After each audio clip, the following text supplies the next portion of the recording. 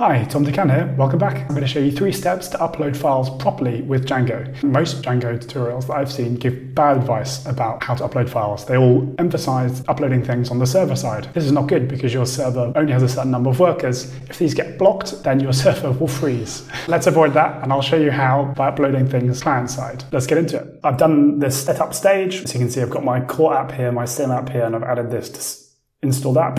You need to go to IAM here, then go create a user here, create one, then you want to attach policies directly and make sure you select S3 full access here and then create an access key here.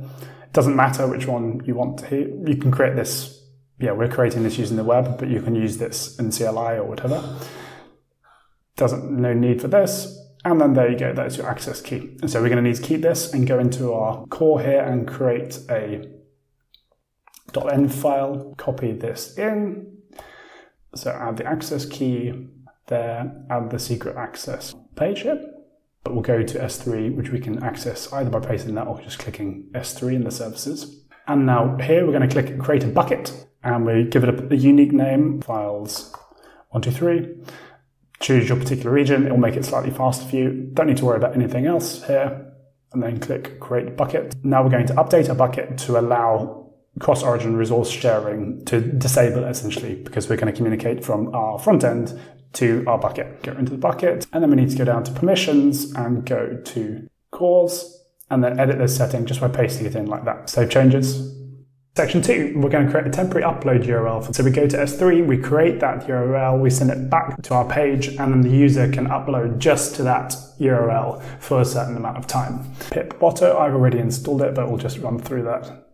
There you go, it's already in my file. And now we're going to create a file called services.py where we will generate that file, uh, services.py, and then copy this in.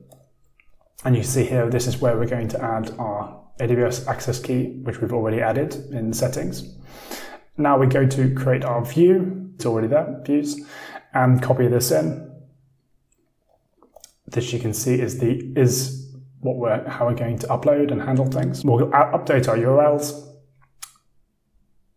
So go to core and then copy and replace this. Go to sims and sim and create our app and then create urls.py.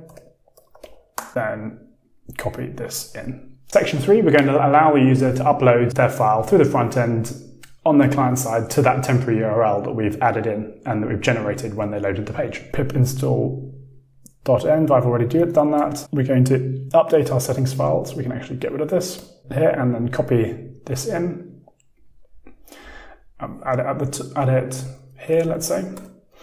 And we also need to import it like that when our Django server runs, we will also load this, the settings.py, go and look at our .env file, load that into the environment so that our, the rest of our app can use all those environment variables, in our case, our AWS keys. So we want to create a front end.